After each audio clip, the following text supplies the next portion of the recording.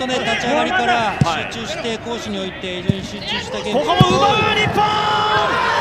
川辺のゴール決まった。川辺代表初ゴール。ここは狙っていました。そのまま押し込んだ川辺。代表2試合目で A 代表初ゴールを決めています。いやここは戸田さん狙ってましたね、まあ、守備は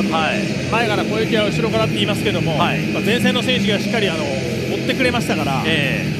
でその追いを見たときにボールがどこに出てくるかの予測ができて、でまあ、自分で決断して奪いにいってるんですけども、まあ、チームとしての分にしっかり彼自身が自分を表現したと思いますので、あ素晴らしい得点だと思います。